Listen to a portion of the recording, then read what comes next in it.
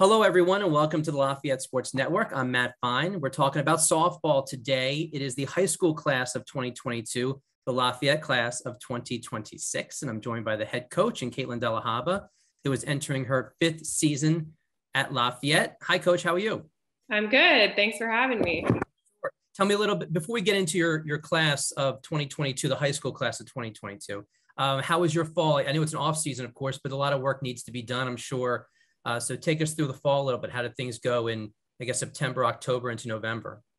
We had a really good fall. Uh, we lucked out a lot with weather too, which was awesome. We got to be on the field, I think, way more than we have in years past, which was great. Um, we're a little bit more of a seasoned team. We're pretty heavy in our sophomores and juniors now. I feel like we've been kind of perpetually young for the last few years. So that's really exciting. We also have some great senior leadership and a lot of experience in that senior class, um, which is awesome as well. But I think from a the cultural side of things, like I think our our group really enjoys being around each other. They're excited to come to practice. They're excited about the spring. So I think all in all, it was definitely one of the best falls that we've had. And obviously being able to have, you know, everything feel much more normal this fall was great too in comparison to the last couple years. Yeah, and the weather did feel like a, a, very mild fall, which was I know nice for all the baseball and softball. In addition to just the regular fall sports out there, it's just a good thing when we have a mild fall. So that's yeah. that's good for you guys. Let's talk about your team a little bit. Uh, the, I guess when I say team, this is your uh, your future team, and it's always a little bit weird when we talk about some of those spring sports because we're talking about um, your next your next class, but we really won't see these players on the field for you in competition for a little bit more than a year. So it's it's names that we want to keep in the back of our minds. It's not like we're going to see them you know, compete in the fall. Uh, it's more of a spring season. So we're talking about seeing them in 2023, but it is your recruiting class of 2022. Uh, we have five players, uh, one pitcher, three infielders. We have one outfielder, although it, it seems like most of these um, student athletes of yours can play many different positions, but I'm going with their main uh, their main position, the number one position. And we'll start off with Marissa Powell. She is a five-nine right-handed pitcher from Sunderland, Maryland, which is just southeast of uh, Washington, D.C. She is a three sport star in high school softball, uh, baseball, soccer. She is the 2021 regional champs, by the way, or she was on a regional championship team in softball, and she's a three time captain. Tell me a little bit about Marissa. So uh, you said a lot about her right there. She's really, really athletic and um, obviously like a, a, really tall stature kid. Like she's a, a, really good athlete physically when you look at her. Um, but also she can pitch and that's primarily what we're bringing her in for but she also plays shortstop for her travel team. She hit so definitely athletic enough to do a bunch of things which is something that we really try to recruit toward. We like when our student athletes can do more than one thing. We do keep a smaller roster so being able to know that we can use um, our athletes in more than one way is really helpful. But i also think one of the things marissa brings to the table that is really valuable is her leadership and she's a really big team player. Um, she's a really really nice kid. Like when you talk to her she just is really engaged. She cares a lot about her teammates and she's gotten a ton of praise from all of her you know travel ball coaches about how great of a leader she is. And i think culturally that's something that we've also been really careful about who we're bringing in and making sure that they fit in with what we're trying to build. So i think marissa is a really really valuable asset in that sense. And then obviously we think she's a really great pitcher too. So i think that she's going to help us on the field and make a really big impact in the circle as well. Sounds good. Let's move to your middle infield. We have Kylene Gooch, five nine. Now, I, I, like Kylene. She listed middle infield, but on the questionnaire that you know you send out to all these student athletes, she actually listed eight of the nine positions. So she had primarily middle infield, but she says, yeah, I can play first, I can play third. And by the way, I can play all three outfield positions too. So uh, she's all over the place. Oh, actually, she listed seven of the eight because she didn't list pitcher and didn't list catcher. So seven of the eight positions on the field. She's from Red Hill, Pennsylvania, which is about 45 minutes south of Easton. Uh, she was a two sport, sport high school star, uh, varsity in softball, of course, but also in field hockey. And, you know, it's Lafayette. So I, I feel like I'm redundant when I say this all the time, but she's a four year honor roll uh, recipient. Uh, tell me about Kylene.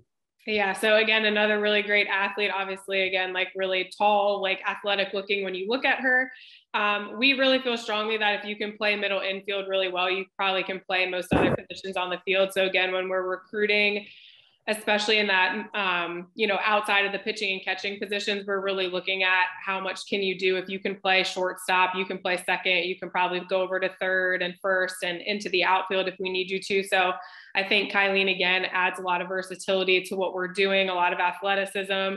She's um, a great hitter as well. And I think just being able to know that based on the team's needs, she can do multiple things is going to be really valuable. So we're excited about her. Again, another really great kid um, has a great family as well. And we're just really excited to be able to bring her in and see what she can do. Now, it would be a Caitlyn de la Haba recruiting class if we didn't start talking about recruits from California and Virginia. Something I've learned about you uh, pretty much from day one. So these last three are all from that area. So we'll get our first California student athlete in there. Kylie Sweet, uh, five seven, another middle infielder. I know baseball and softball, you know, you recruit up the middle a lot, catcher, pitcher, middle infield, center fielder. Uh, but she's from Escondido, uh, California, if I pronounce that right, 30 miles south, or excuse me, 30 miles north of San Diego, four-year varsity starter. Um, and she was also on an undefeated uh, league squad as well. So someone who knows how to win. Yeah, and she comes from the same organization as another athlete on our team. So Kaya, who's a freshman right now, played in the same um, Breakers organization as her. So that's kind of how we made that connection there when we were recruiting Kaya. Obviously, we were starting to look at the class ahead and having a connection there. And again, very high academics. She wanted the academics, she wanted to come east. Another really great athlete um, who can play in the middle, which means she can play on the corners and in the outfield as well. Really good gap to gap hitter. She plays in a great organization where we know that she's going to get here and have that high softball IQ and be able to jump right in and pick up on what we're doing. We know she's coached really similarly to the way that we coach. And so all those things just kind of aligned for us. And again, another just great kid that from the beginning, every time we talk to her, you're like, how can you not, you know, like her and want her to be a part of what you're doing? So we're also really, really excited for Kylie to get here. Sounds good. Now let's go back to the East Coast, but we're going to head down to Virginia, as I mentioned. Uh, Megan Coyle uh, five six, uh, first baseman who can also pitch, but she's mm-hmm. from Herndon, Virginia, and just outside of DC. Four years of varsity softball under her belt, and as I mentioned, we're talking about good student athletes. And again, I say I'm redundant all the time, but I think it's worth mentioning because that's what they're there for. A National Honor, Honor Society uh, student athlete as well. Tell us about Megan. So yeah, so Megan and Marissa actually play on the same team. So that's kind of how uh, we found both of them the same organization. I'm really familiar with that organization, the LLG Nova. They're again from the same area that I yeah. grew up in. So that's awesome too, like getting to have those connections, being able to see them when I'm home and in that area. And Megan again wanted the high academics. She wanted to be able to come in and play softball and get a great education. And that's obviously something that aligns with, you know, the type of student athlete we're looking for. Um, at first we were looking at her as a pitcher, but then realized that she could also play first base really well and that she that was more primarily what she wanted to do was hit and play first base. But again, having somebody who can pitch if we need them to is super valuable. And she's a very good pitcher as well. So, again, just having some of that versatility and bringing in another great person was really valuable for us. And I think we fit with exactly what she was looking for from the academic and athletic side of things. So, it just worked out that kind of the stars aligned on that one. Yeah, you mentioned Megan and Marissa kind of both being, even though Marissa's from Maryland, technically from Maryland, still the same kind of area Mm-hmm. And that brings us to the last person who's another uh, Virginia player. We have Grace Houseman, a five-five outfielder who can also play middle infield, but from South Riding, Virginia, that's west of Washington, D.C. Four years uh, varsity softball, all as a starter. Um, and she's got a 524 career high school batting average, so she can definitely hit the ball. Of course, most you know uh, high schoolers miss that middle year, so we're really talking about two years of high school ball for her so far. She's about to enter into that third year, you know, COVID notwithstanding. Um, and as a junior last year, she was all state. So another top notch offensive player for you. Yeah. So I actually found, I saw Grace for the first time when she was super young.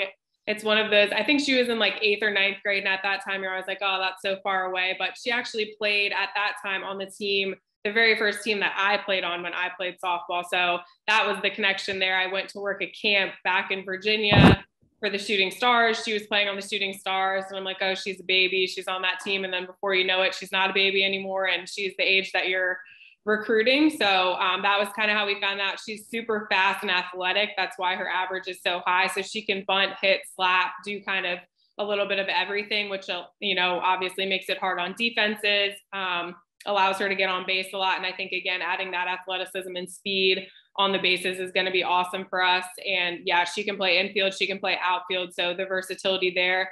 I think for us, we see her as being an outfielder, but again, knowing that she can come in and, and fill in in the infield and can do that as well is definitely valuable. And you just never really know what's going to happen or what your needs are going to look like. So knowing that she can do both is great too. But again, she's a great person, very smart, wants the high academics. And so I think all the way around it was a good fit. Sounds good. Well, those are your five players for the, again, the high school class of 2022, graduating from Lafayette in 2026. So that's exciting, something we can look forward to uh, when we see them in your their first season, I guess, in a Leopards uniform would be spring of 2023. So we're all over the place with dates. um, let's let's just talk before we wrap things up. Let's just talk about your upcoming season. Um, I'm going to mention some of the games. You know, I was looking at your your exciting schedule you guys have coming up, and I'm just hoping that you guys get to play every game that's on there, of course.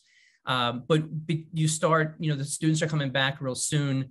Uh, when do you start practices, and, and what are you looking forward to prior to opening day, which again I'll mention, but it's in late February?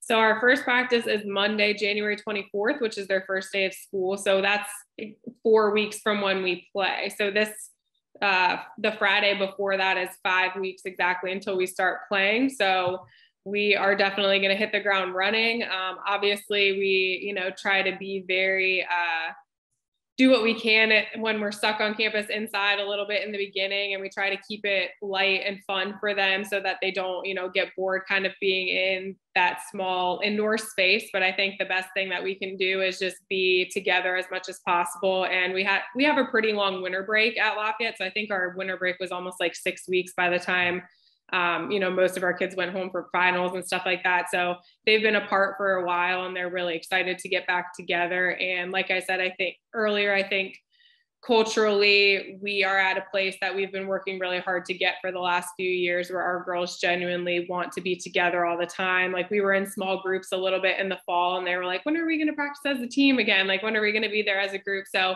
we're going to do some combinations of things this spring when we get back you know again being indoors trying to keep be creative as much as we can. And sometimes in small groups sometimes in team stuff sometimes we separate the pitchers and catchers to do a little bit of their stuff um, on their own. And sometimes we go out to Rappolt the field hockey field to get some defense. So we have to be definitely creative as we go into those first few games but definitely that first weekend that we play the teams that we're playing are in the same situation. So, you know, we're we're playing other East Coast teams that are in the cold and, you know, practicing inside and stuff like that. So we definitely really highly anticipate that first weekend. Hope that we get good weather at the end of February in Maryland. Um, but one of my best friends is actually the head coach at University of Maryland Eastern Shore, and so that's why we're going there. We actually grew up playing together. We were next door neighbors, and she's the head coach there. So that's exciting too. And we haven't gotten to play each other yet since we've been at our job. So that's kind of how we connected there and, and put that together. So we're praying for some uh, good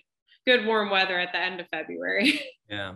Well, yeah, as you mentioned. Okay, so let's let's just uh, finish up with some dates because you mentioned going to the Eastern Shore of Maryland. So the season does open up against um, St. Peter's in Maryland mm-hmm. uh, on the 25th of February. Um, there's just I'm looking at some of just the highlights on your schedule. That's not these are not all the games, of course, but um, you got an exciting Florida trip in mid March. That's going to be really exciting just to go down there and you know have the all the kids be together uh, for the better part of a week um, on the road playing. And you know, obviously it's going to be pretty warm down there at the time when you guys go down there. That'll be great. You have a home opener against Fairleigh Dickinson on the 23rd of March. That's a date you want to circle on your calendar. And then just a couple of days later, you're back at home in the Patriot League for your uh, league opener against obviously the defending champs in uh, in BU. So that that's a home series, as I just mentioned. So a lot of really exciting uh, dates on the schedule coming up, and um, I know it feels real cold. I know we just got a lot of snow in Easton, uh, but uh, before you know it, you're going to be on the field, uh, and it's going to be an exciting spring. And I'm looking forward to it, and I want to wish you the best, Coach.